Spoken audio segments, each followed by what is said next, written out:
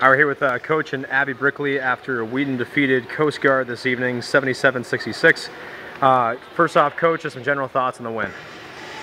Great, great game. Really exciting game in our home gym. Uh, Play for Kay game, National Girl Women's Sports Day, phenomenal student representation in the crowd, gave us that six man against a very good Coast Guard team that came in prepared uh, to, to, beat us. And I think it was a great game from start to finish. Uh, rebounding was significant in preparation for this, and I think, you know, closed out the game for us down the stretch when um, they were coming back on us, and I actually think they took the lead at one point, um, but we stayed composed and, and finished it out.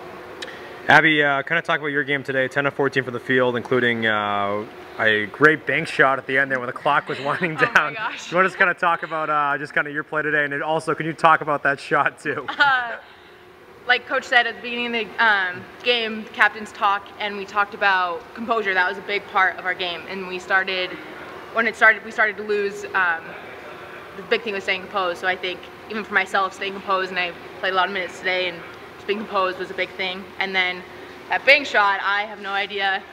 the clock was winding it. down and no one was open and I was just trying to chuck it up to hit the rim and I chucked it and I thought I was going to break the backboard and then it went in and I have no idea. Rosa Drummond like. Yeah. yeah. Let's say, Coach, you just, yeah, what did you see when that, that quickly on that shot before we move on to the next question?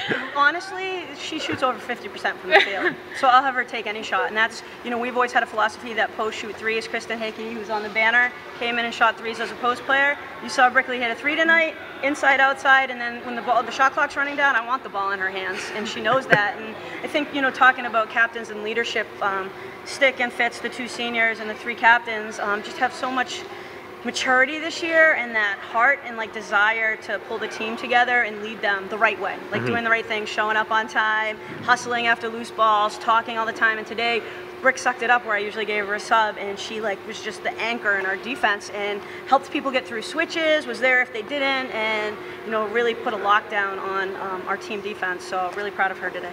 Abbie, I want to talk about just talk about the play, just how you and Kylie just kind of growing together uh, this you know this year. Um, you know, Coach talked prior to the game just about the improvement of about Kylie, and it just seems like you know with the two of you down low and with the movement you guys kind of create to help LP or uh, you know Arnone or Ferrari, just really just seems like you guys are really helping them out. It, we really, it's unbelievable because it's hard. I just don't know. When we're connected, there's no, you can't, like, you can't stop us. Like, we, the guards get it inside and we, Kylie and I have great, really good connect, um, chemistry and then we kick it out and the guards hit great shots and they have great passes and the guards have stepped it up a lot this year and with their passing and we wouldn't, Kylie and I would not be where we are today if it wasn't for the guards. And I think Kylie and I have also worked on like our passing to each other. And yeah. I just think we're, we're always like, we have a sixth sense, we always know where we are.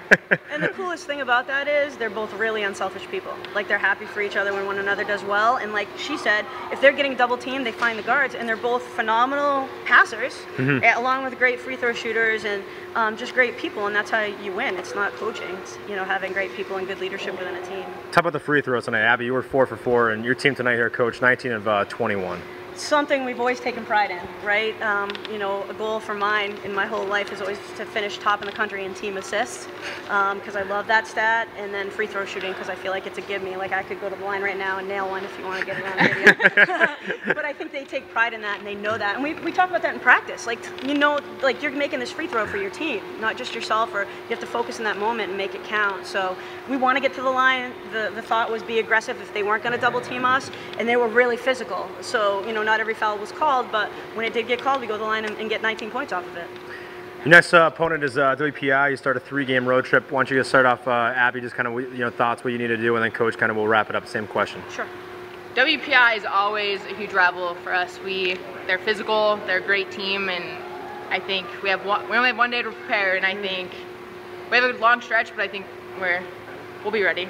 Yeah, this team's really good about taking it one game at a time, and we'll give the, the scout tomorrow on WPI. We haven't talked about WPI at all, um, so tomorrow we'll focus on that. And again, with great uh, veteran leadership, the team buys into it, and we'll get prepared tomorrow. We play on Saturday uh, because of the snow day yesterday. Um, it's their alumni game at WPI. You know, Rusty Egan has the new video scoreboard. Our faces will be on, and uh, it'll be a great crowd probably with the band. But those yeah. are the environments you want to play in, right? Yeah. Yep. Sounds good, Coach. Abbie, congrats on the win. Best of luck against WPI on Saturday. Thanks, Matt.